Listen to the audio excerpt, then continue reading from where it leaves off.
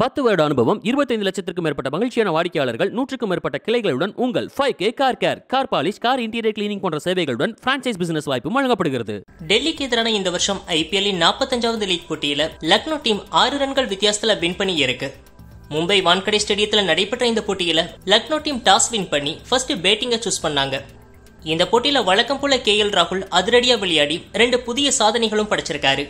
லக்னோ டீமின் ஓப்பனிங் பேட்ஸ்மனா Quinton de Kock மற்றும் கே எல் ராகுல் களமிறங்கி அதிரடியா விளையாடினாங்க. ஃபர்ஸ்ட் விக்கெட்டுக்கு இந்த ஜோடி நாலு புள்ளி இரண்டாவது ஓவருக்கெல்லாம் நாற்பத்தி இரண்டு ரன்கள் எடுத்து அதிரடியா விளையாடிட்டு வந்தாங்க. அப்ப குவிண்டன் டிகாக் இருபத்தி மூணு ரன்களுக்கு தன்னுடைய விக்கெட்டை பறி கொடுத்தாரு. இதன் பின்னால தீபக் கூடாவும் கே எல் ராகுலும் பார்ட்னர்ஷிப் போட்டு லக்னோ டீமின் ஸ்கோரையும் வேகமாக உயர்த்தினாங்க. கே எல் ராகுல் ஒரு பக்கம் பொறுப்பா விளையாட மறுபக்கம் தீபக் கூடா அதிரடி காட்டினாரு. முப்பத்தி இரண்டு பாலுக்கு தீபக் கூடா அரை சதம் அடிக்க இந்த வருஷம் ஐபிஎல் சீசன்ல இது அவருடைய மூணாவது ஹாஃப் செஞ்சுரியும் கூட. ரெண்டாவது விக்கெட்டுக்கு இந்த ஜோடி தொண்ணூத்தஞ்சு ரன்கள் எடுத்து வலுவான அடித்தளத்தை ஏற்படுத்தினாங்க. இதையடுத்து கே எல் ராகுலும் அதிரடி காட்ட ஐம்பத்தி ஒரு பாலுக்கு எழுபத்தி ஏழு ரன்கள் அடிச்சாரு. இதுல அஞ்சு சிக்சர்களும் நான்கு பவுண்டரிகளும் அடங்கும்.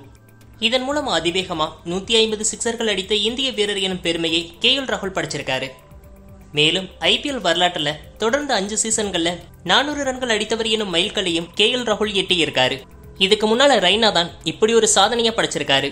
இன்னைக்கு போட்டியில் லக்னோ டீம் இரநூறு ரன்களுக்கு மேலே அடிக்கும் என எதிர்பார்த்த நிலையில் முக்கியமான கட்டத்தில் அடுத்தடுத்த விக்கெட்டுகள் வீழ்ந்ததுனால அந்த டீம் இருபது ஓவர் முடிவில் நூற்றி தொண்ணூத்தஞ்சு ரன்கள் மட்டுமே எடுத்துச்சு.